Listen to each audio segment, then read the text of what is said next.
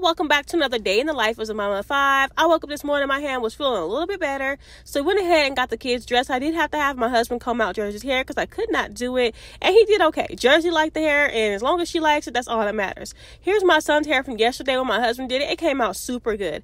Anyways we're heading off to go do a little bit of swimming so i went ahead and got my original Bogg bag and i packed that up. We went and got some pizza over at sam's club. Y'all know we love sam's club pizza. While we were there i noticed that sam's club had put out their swimwear so i went over to take a look and honestly it was giving grandma. So we definitely walked out of there without getting anything. Then we went over to the rec center of course. I did tell my kids we had an hour in the pool. I didn't want to stay super long but i want them to have a good enough time. And maybe it's just me but every time I'm in the pool area i just feel so tired and just so drained. But anyways we left the pool we went to the library jersey got some books. She's such a bookworm. My son did ask if we could drive home from the mailbox so we let him do that. And jersey girl made her a little palette laying on these bookshelves. She's such a bookworm.